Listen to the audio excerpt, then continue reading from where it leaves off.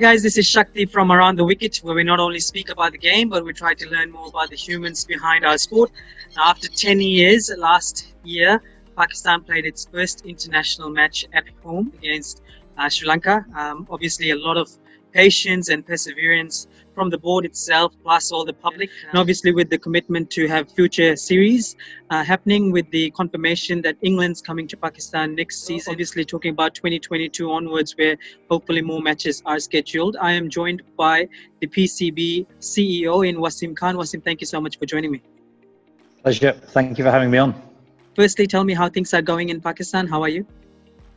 Yeah, very good. Thanks. I'm in I'm in Lahore currently. Um, the weather's uh, perfect at the moment. It's about 20 degrees, no breeze, so uh, we're just sort of going into our slightly colder weather. But uh, but no, all, all, good here so far. I mean, COVID um, up until this second wave was pretty much fractional per 100,000 people, so it's a little bit worse um, second time round as it is everywhere yeah. else around the world. But uh, but yeah, we're uh, we're keeping safe and like with most of our guests, Wasim, um, you know, I just wanted to know a little bit about your background, how you know you got involved with cricket, and how did the you know, the role of the CEO of one of the biggest, I guess, uh, cricketing boards in the world come about. Yeah, look, I mean, uh, in, in a sort of a two minute snapshot in terms of my, my career, I grew up in inner city Birmingham in the UK, where I was born and bred. Um, at the age of uh, 13, I sort of had my first experience playing cricket at school. I got spotted by a teacher and uh, at the age of 19, I was offered a professional contract with Warwickshire County Cricket Club. Uh, that's had the likes of uh, in the 90s, so the likes of Brian Lara, Allan Donald, Shaun Pollock, all played um, at, the, at the club at the same time as me. Um, and yeah, at the age of 19, I was the first British born Pakistani to be offered mm. a hmm. professional contract in the UK. Played professional cricket for 10 years, seven years at Warwickshire, three years at Sussex. Um, I then ran a national campaign to get cricket back into state schools um, called Chance to Shine. It was set up by Mervyn King, the former governor of the Bank of England. Yep. Um, so I um, so I did that for, for nine years as a CEO. We raised 55 million pounds as a charity. Wow. Um, yep. Reached about two million, two and a half million children, of which a million were girls who'd never played cricket before, in seven and a half thousand state schools in the UK, and so we ran coaching and competition programs for them. Uh, I also wrote a book, um, Brimful of Passion, which was named Wisden Book of the Year in 2006.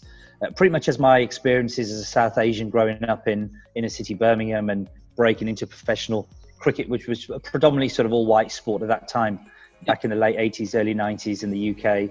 Um, so I wrote about that. Um, after that, I moved, I did an MBA at Warwick Business School, a master's there. So I did an executive MBA there for three years. Uh, I got awarded an MBE in the Queen's Birthday Honours mm-hmm. List uh, for services to charity and, and cricket. Um, 2014, I took over as Leicestershire County Cricket Club um, as the chief executive um, in the UK and did that for four years. And then I was lucky enough to uh, to go through the process of this uh, and be offered the role. And I've now been in the job since as the chief exec of the Pakistan Cricket Board since February 2019. Congratulations on that role as well, and uh, incredible uh, pedigree of uh, achievements that you have uh, was accumulated over time. Um, I guess you know let's talk about cricket. Like I stated, you know last year obviously was one of the milestone moments for Pakistan cricket obviously getting international cricket back in the country once again. Uh, ironically, ironically, it was Sri Lanka uh, over there. Tell us about the enormity of, of such an event. Yeah, look, I think I think it's probably fair to say that you know Pakistan cricket over the last sort of 10, 15 years has seen some dark times. Um, obviously, with the match fixing scandal back in 2010, uh, the issues we had with Sri Lanka here in 2009. Um, you know, but you know, we, we obviously then ended up playing all of our cricket overseas in the UAE which yep. was never ideal. Um, you know, and so therefore this, the fans weren't getting cricket. So from 2015, actually before my time, um, white ball cricket started to come back a little bit. But the slight challenge we had at the time was that we had to play, we had to pay players to get them to come play mm. in Pakistan mm. at the time. You know, with state level security and everything. So it was yep. sort of very sporadic from 2015 up to 18. Uh, one of the goals that we had was to tr- was to consistently get cricket back into Pakistan when I took over in February 19, um, and, in, and, and especially Test cricket, which hadn't been played since 2009. So white ball cricket, a little bit had been played, but no red ball cricket. Yeah. Um, so we managed to get Bangladesh and Sri Lanka come over. Uh, Sri Lanka came first and then followed by Bangladesh. Uh, we were delighted, you know, the cricket boards had faith, came over, played. We also had an MCC team come over, which was captained mm. by Kumar Sangakkara, mm. who was part of that fateful sort of uh, 2009 trip. Uh, he's been a real advocate for getting cricket back into Pakistan. And so, slowly but surely, we've moved forward. We've just uh, recently hosted Zimbabwe, uh, HBL, Pakistan Super League that we have. We have up to 40 international players from all over the globe. We've just spent four weeks in February, March in Pakistan. Mm. Um, so it's probably fair to say as well, Shakti, that um, you know that we're as safe as anywhere now in the world. Uh, we're never complacent. It's still a lot of work for us to do, but you know, if you saw what happened recently, well, uh, last year in Sri Lanka and you know in New Zealand and places like that, you know, the world you know isn't isn't a safe place anywhere. You see what happens in London, in London Bridge with terrorists and stuff. So, you know, there's you know there's always different degrees. I understand that, but you know, we've the country has been cleaned up a lot now through since Imran Khan became the prime minister. Yeah. You know, fighting a lot of extremism. Uh, we're in a very good place in terms of the major cities now, and you know, it's something that you know we we fully expect cricket now to to fully be back. We've we've got South Africa hopefully touring in January for two tests and three T20s. Mm-hmm. We've got the PSL again in February, where we where we're looking forward to welcoming 30 to 40 international players again. We've got New Zealand due to tour next October. Uh, and then we're hosting England for, for two T20s.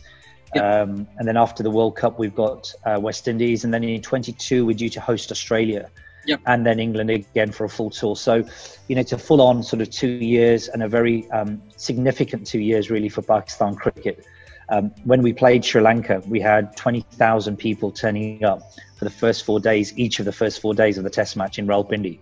So that tells you how much Test cricket still yep. means to this nation. And as you mentioned earlier, you know we've been starved of country uh, cricket for a very long time as a country. So it's a huge thing. Um, it's lifted the nation. Cricket is a passion amongst 220 million people, mm. um, and you know we're delighted that we've been able to play our part in in just lifting the country again. Yeah, Wasim, you touched up t- touched upon you know safety. Um, you know, probably one of the reasons why why this happened. Uh, one of the biggest reasons why Pakistan didn't get much international cricket. I guess you know we as observers we don't know what goes into um, you know making sure a country is safe or you know a touring team is safe. Um, how much goes into it? If you, I mean, if you can give us just a snapshot of um, you know what goes into uh, planning something like this. Yeah, look, there's a huge amount of planning. Obviously, one of the things we offer is state level security. So, you know, presidential style security for teams that come.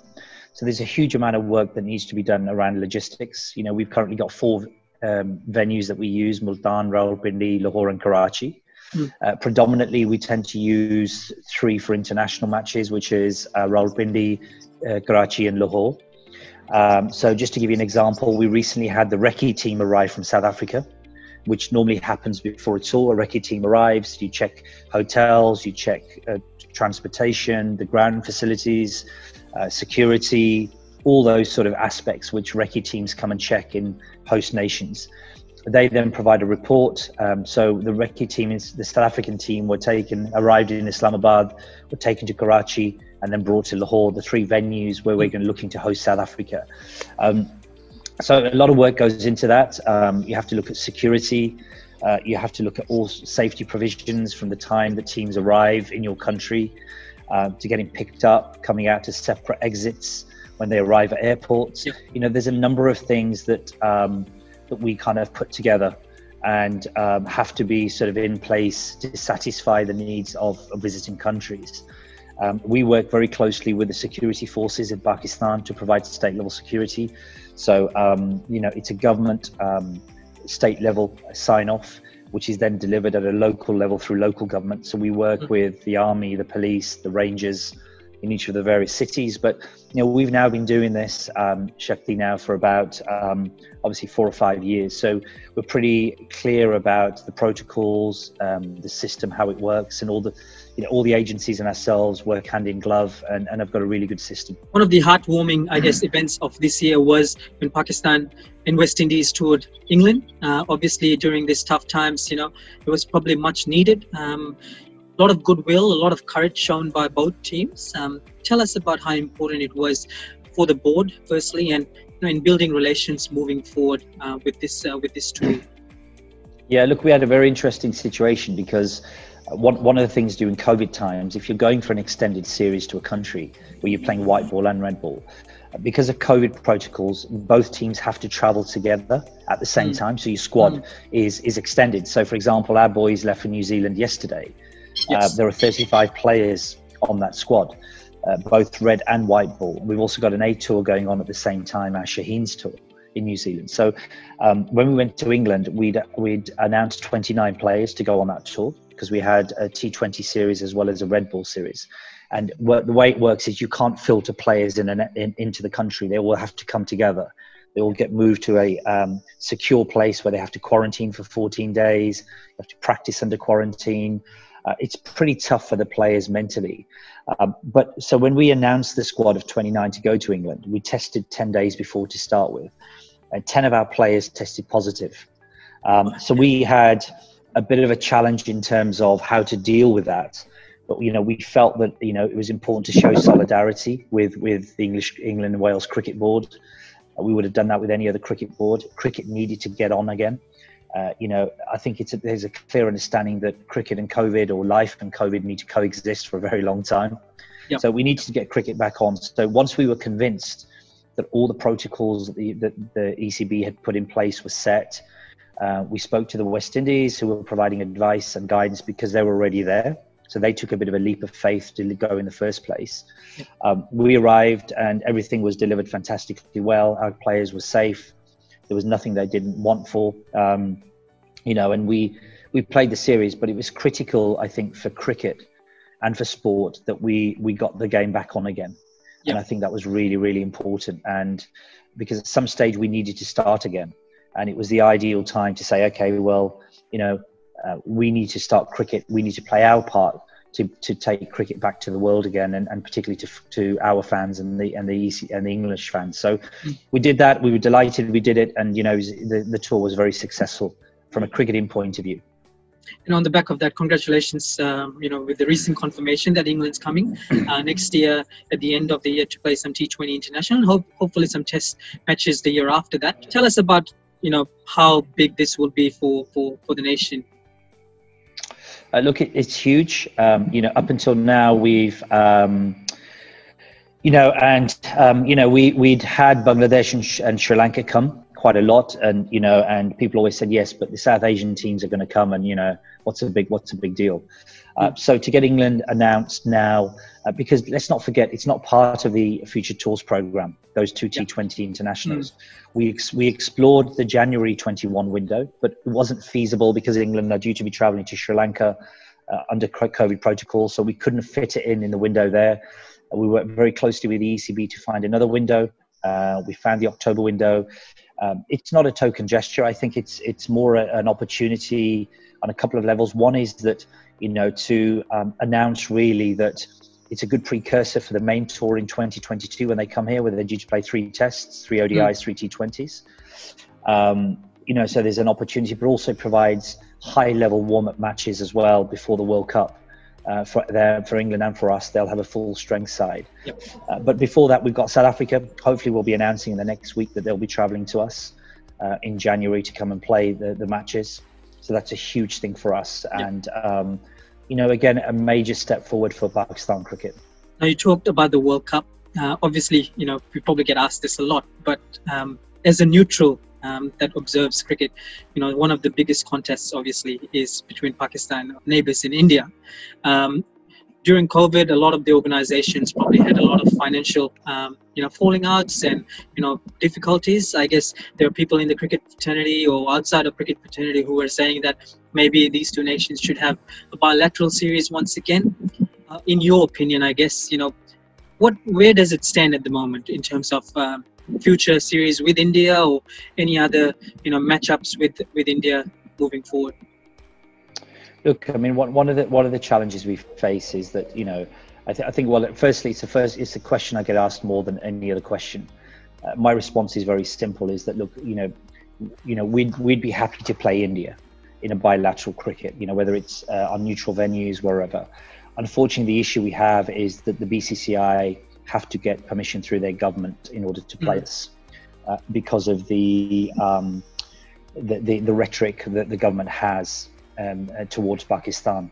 So it's sad that politics and cricket have to mix, but it is the way that it is in India. Uh, we understand that. We've got a cordial relationship between the boards. the yep. players have got great relationships with each other. Um, but you know, and I keep saying to people that uh, whilst this government exists in India, um, we need to forget about bilateral cricket between India and ourselves um, because it just won't happen.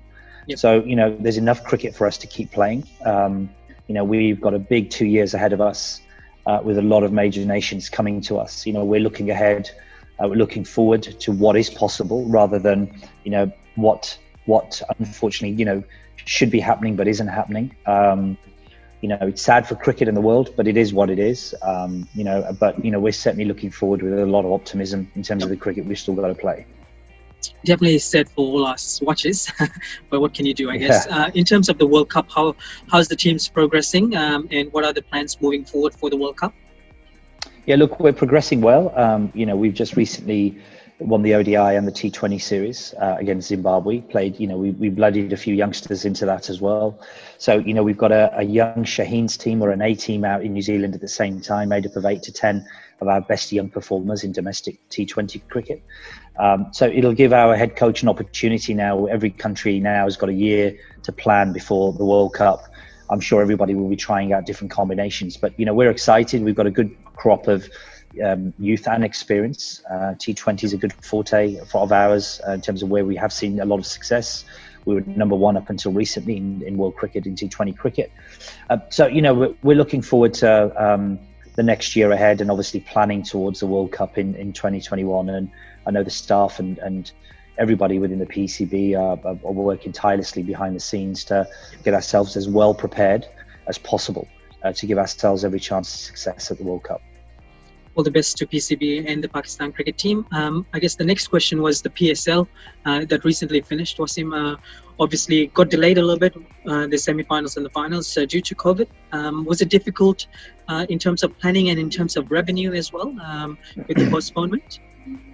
Yeah, look, you know, we had to postpone it because there was a, a fear that you know one person may have, one player may have contracted or was, you know, had, had shown yep. COVID symptoms. So, you know, we made a decisive decision to postpone it at that stage.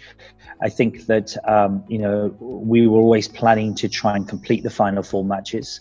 Uh, we were looking for the right window. We needed to set the biosecure protocols of the bubble in place for players to keep them safe, evidence that. Um, so we did a lot of work. Our medical team and our domestic team, you know, deserve a huge amount of credit in terms of the hard work they put in over that period of time. Uh, to get us ready to complete those four matches. Uh, the matches took place uh, um, after the Zimbabwe series, so we, we had a bit of lead in into that in terms of the protocols that we had in place. Uh, but it, it, was no small thing or an easy thing. You know, um, you know, we had to put a lot of time and effort behind the scenes to make it happen. But you know, we were determined to complete the, the PSL. Uh, thankfully, we, we, we completed it with no casualties or any issues. Um, you know, and it was it was a big thing for us. And you know, yes, revenue wise, I think every country has suffered uh, because of postponements. Um, when you postpone, you don't receive broadcasting money.